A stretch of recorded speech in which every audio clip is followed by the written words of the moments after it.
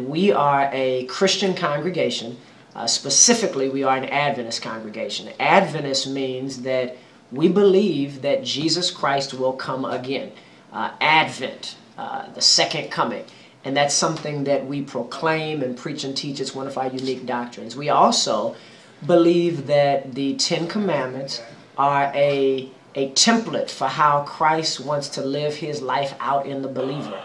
And seventh day is our burden to communicate to our world that the seventh day is the Sabbath. It's the day that God sanctified and set aside as a memorial that He's our Creator.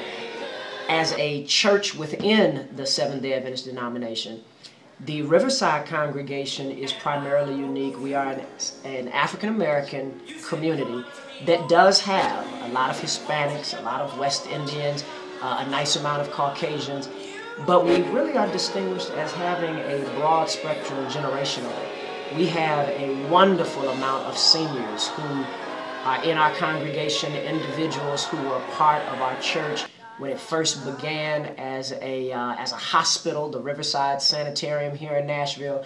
I'm with this all-powerful God, who's also